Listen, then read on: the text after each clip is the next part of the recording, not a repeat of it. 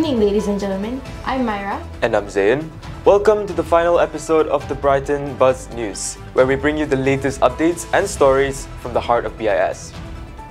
Let's start off with a topic that's on everyone's mind the upcoming final exams for Term 2 of the academic year 2023 and 2024. That's right, Myra.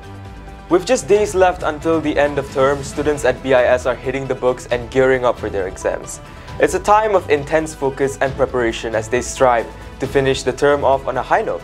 And while exams are on the forefront, there's been a notable shift in the usual routine this month. Instead of our regular break time, our beloved teachers, Mr. Ahmed and Mr. Inam, conducted sermons in conjunction with the holy month of Ramadan. These sermons provide students with a unique opportunity to observe and reflect on the blessed time of this year under the guidance of our teachers. Speaking of the community bonding, last Friday saw a wonderful gathering organized by the Teachers Welfare Department, the Potluck Iftar. It was a joyous occasion where teachers and staff came together to break their fast and share various cuisines from different communities' diverse cultures in the spirit of unity. It is certainly heartwarming to see such initiatives fostering a sense of togetherness and inclusivity within the school community. On another note, let's take a moment to reflect on some of the highlights of this term. From the enriching school field trips that provided students with a hands-on learning experience to the exhilarating sports day known as the BIS 2024 Olympics, where students showcase their talents and sportsmanship. It's been a term with unforgettable moments. Absolutely, Myra.